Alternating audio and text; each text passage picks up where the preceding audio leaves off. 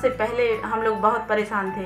जब मेरी शादी हुई थी यहाँ पे तो बहुत ज़्यादा दिक्कत जाती थी पैसे की घर में बहुत ज़्यादा तंगी थी। सर मेरे जीवन में पूरी तरह से बदलाव आ गया है। पहले तो अपने घर में रहते थे बोर हो जाते थे गोबर करते रहते थे दिन भर और एक जगह बैठ के रोती रहती अपन जा रहे हैं बात करने का तरीका उठने बैठने का तरीका।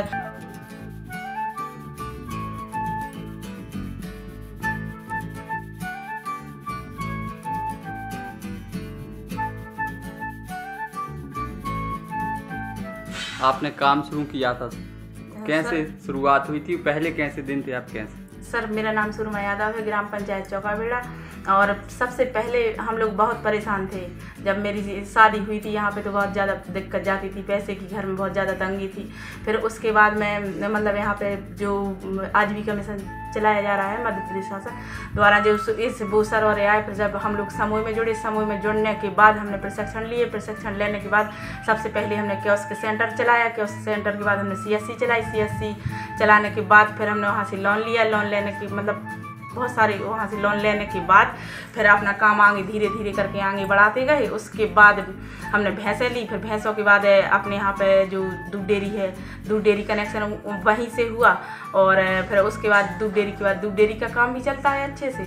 और सोशल ऑडिट फिर वहीं से आजीविका मिशन से हमको सर और उन्होंने सोशल ऑडिट में करवाया। वहाँ से भी उन लोगों ने प्रशिक्षण दिलवाया इसका भी अलग से। और ऐसे बहुत सारे काम। इसके अलावा कियोस्क सेंटर है सीएससी है दूध डेयरी है और सोशल ऑडिट है। कितनी आय हो जाती है आपकी? अ, सर दस बारह तेरह हज़ार रुपये सोशल ऑडिट है और दस बारह हज़ार रुपये जो कियोस्क सेंटर चलाते हैं उसमें है और दस मतलब चार चार चार सौ रुपया पर डे कमीशन दूध डेयरी से है और हमारा खुद का मतलब जो भैंसे हैं तो घर से जो दूध जाता है तो उसकी आय है। सर एक तो हमारे बच्चे बहुत अच्छे स्कूल में पढ़ रहे हैं। दूसरा हमारा मकान और धंधे पानी और जमते जा रहे हैं। सारे बिज़नेस चल रहे हैं अच्छे से खेती किसानी हो पा रही है अच्छे से।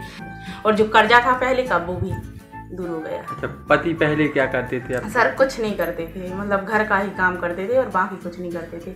अब वो भी मतलब दूध प्लांट पे सुपरवाइजर हैं वो भी काम करते हैं। अच्छा, जो इस तरह की और महिलाएँ हैं जो कुछ नहीं करती हैं घर पर रहती हैं तो उनके लिए आप कोई संदेश देना चाहें कि वो किस तरह से जुड़े या काम कर सकते हैं सर मेरा यही मानना है कि वो अच्छे से समूह में जुड़े और अच्छे से समूह चलाएँ और जो समूह में बहुत सारे काम आते हैं ना जैसे सिलाई मशीन हो गई और भी बहुत सारे काम आते हैं तो वो उससे जुड़ के अपने काम करवा सकते हैं और कर सकते हैं। अच्छा ये जो सरकार की इस तरह की महिलाओं को लेकर योजनाएँ चल रही हैं तो ये कितनी उनके लिए कारगर और फ़ायदेमंद हो रही है? सर बहुत ज़्यादा। बहुत ज़्यादा। सर मेरे जीवन में पूरी तरह से बदलाव आ गया है। पहले तो अपने घर में रहते थे बोर हो जाते थे गोबर करते रहते थे दिन भर और एक जगह बैठ के रोती रहती थी। आज अपन जा रहे हैं बात करने का तरीका उठने बैठने का तरीका हर कोई से मिलना जुलना अपने घर की जो अपने अंदर टेंशन रहती है वो सारी अपन एक दूसरे से शेयर कर लेते हैं सबके पास बैठते उठते। तो ये बहुत सारी टेंशन है जो दूर रहती है। और साथ में पैसा भी इनकम भी होती है।